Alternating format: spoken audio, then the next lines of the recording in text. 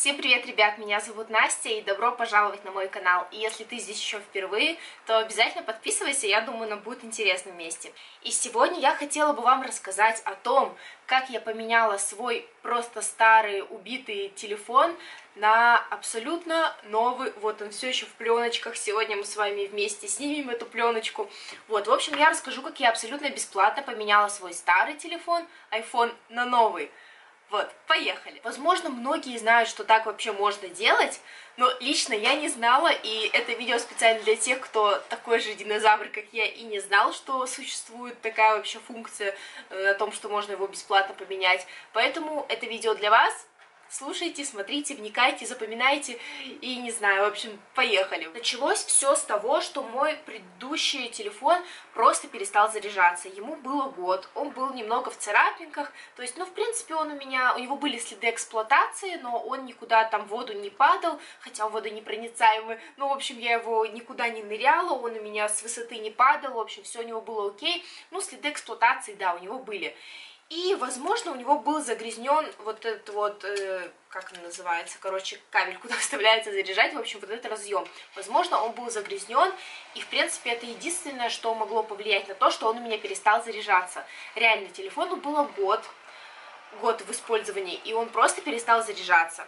Вот, я не знала, что мне делать. Я написала в поддержку Apple, типа, вот у меня такая проблема. Естественно, первые подозрения, когда у вас не заряжается телефон, это проблема в вашем кабеле. То есть я сразу же давай проверять все свои шнуры. У меня они были оригинальные, не китайские. Хотя я вставляла в розетку его, пробовала заряжать. У меня на экране выскакивала табличка, типа, что он не, не расцифицирован. Ну, знаете, когда китайский заряд... пытаешься заряжать китайским зарядником, иногда бывает это табличка выскакивает на телефоне. Вот, у меня она выскакивала и с оригинальным штекером, и с оригинальным самим проводом. То есть я пробовала и менять и на китайскую, и на оригинальную. У меня все равно телефон не заряжался.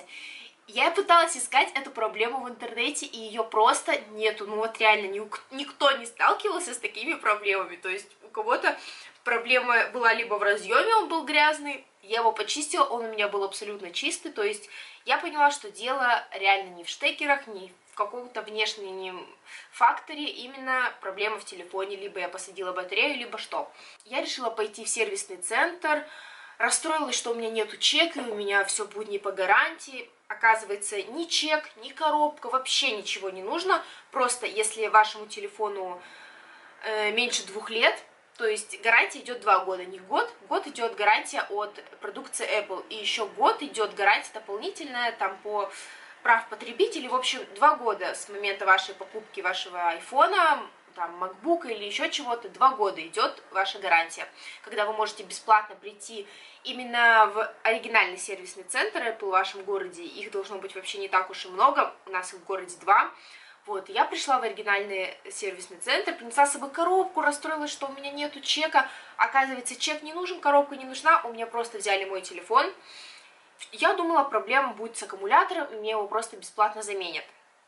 Оказывается, нет, у меня проблема была какая-то заводская, и если у вас, внимание, если у вас проблема какая-то заводская, вам ваш старый аппарат меняют на новый. Прикиньте, реально, я просто была в шоке, типа, мне сказали, что если у вас там какая-то проблема, мы вам, если у вас, точнее, какая-то запчасть там, может быть, сломалась или, что, или еще что-то, мы вам ее заменим. Но если проблема какая-то там или в чипе или что-то такое, в общем, если проблема заводская, то вам поменяют ваш телефон на новый. Вот, я безумно этому обрадовалась, подумала, что, блин, круто, если мне поменяют мой телефон на новый. Вот, и оказалось, что, в принципе, это очень распространенная проблема именно на шестых и седьмых айфонах, когда они там, некоторые выходят айфоны с браками, с браком, поэтому их заменяют на новый. Вот. Как и случилось, в принципе, и с моим телефоном. Не знаю, что именно там было не так, но факт в том, что он мне перестал заряжаться, я пошла в сервисный центр, и меня поменяли на новый iPhone. Вот, я была безумно рада этому, я все еще рада, что теперь у меня новый телефон, я даже думала о том, чтобы продать его и купить, например, какой-то другой. Повторяюсь, не нужна никакая ни коробка, ни чек, вы просто приносите свой iPhone, говорите вашу проблему, вам дают выписку, 5-10 дней, когда там все рассматривают, потом звонят и говорят, что там вам заменят детали или вам привезут новый iPhone.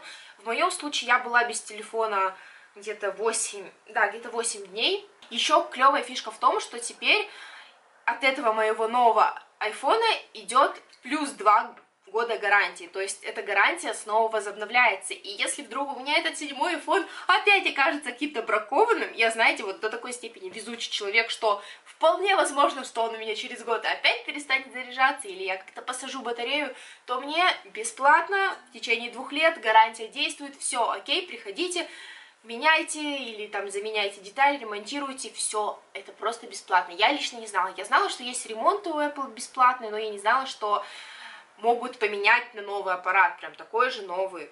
Это очень круто, по-моему. Причем эта функция в сервисных центрах на обмен телефона есть именно у Apple, потому что только эта компания вот так вот сильно заботится о своей репутации. Вы только подумайте, насколько это вообще невыгодно компаниям. Например, у Samsung и других телефонов просто нет такой фикчик, просто потому что это невыгодно компании. И это, естественно, невыгодно и компании Apple, но они так сильно заботятся о своей репутации, что если вдруг ваш телефон неисправен, то мы вам его просто поменяем.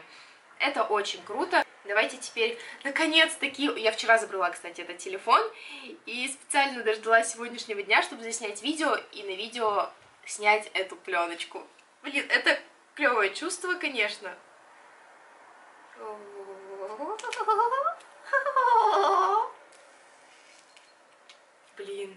Вот он просто идеально чистый, идеально новый. Это очень круто, серьезно. Еще, наверное, я бы хотела вас предупредить о такой штуке, что когда вы понесете, решите вдруг понести свой телефон в сервисный центр, то не будьте такими дебилками, как я, учитесь на моих ошибках и не забудьте сделать резервную копию. Как она делается, можете загуглить, я не буду сейчас это показывать, рассказывать. Просто сделайте на свой компьютер, ноутбук там, или планшет резервную, резервную копию, и когда вы получите новый аппарат, он же будет, то есть полностью новый, у вас там не будет ни ваших фото, видео, и вы сделаете эту резервную копию, потом просто восстановите ее при включении вашего нового айфона, вот, и у вас все ваши данные сохранятся. Как это не сделала я. Ну, я просто неожиданно решила понести его в сервисный центр, как-то, знаете, и вообще не подумала. Вот. Поэтому вы обязательно думайте. И, в общем-то, на этом все. Сейчас, наконец-таки, буду сидеть разбираться в новом своем телефоне. Нереально, он просто как новый. Вот хоть у меня и был точно такой же, но, но он новый, и это очень круто. И то, что в нем нет ничего, мне пришлось создать даже новый Apple ID, потому что я дебилка тоже ничего и не записываю, и не запоминаю. Вот, и в связи с этим я скачиваю все приложения заново, делаю э, свою галерею создаю заново, в общем, какие-то там заметки вспоминаю, какие должна была я хранить в своем телефоне. В общем, поменяю сейчас обложку, сделаю какую-нибудь клевенькую, скачаю кучу классных приложений, обязательно засниму вам, кстати, видео. Ставьте лайк, если вы бы хотели такое видео о том, какие я установлю себе приложения на телефоне, какими приложениями я пользуюсь. Я сама люблю такие видео, так как я люблю находить новые клевые приложения, вот, и да, я знаю много классных приложений, поэтому ставьте обязательно лайк, подписывайтесь на мой канал, подписывайтесь на мой инстаграм, я стараюсь его прям хорошо так вести, у меня там куча полезной и реально клевой информации, вот, поэтому обязательно подписывайтесь на инстаграм, Джессика Милкот, подписывайтесь на YouTube, ставьте лайк и всех целую, до скорых встреч!